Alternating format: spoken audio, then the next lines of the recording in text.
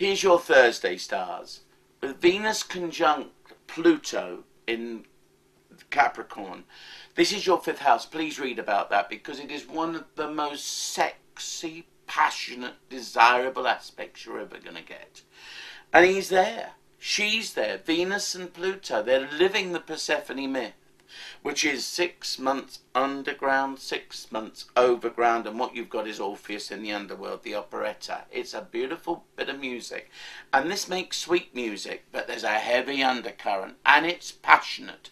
Love could easily turn to possessiveness and jealousy and manipulation. That's what you need to avoid.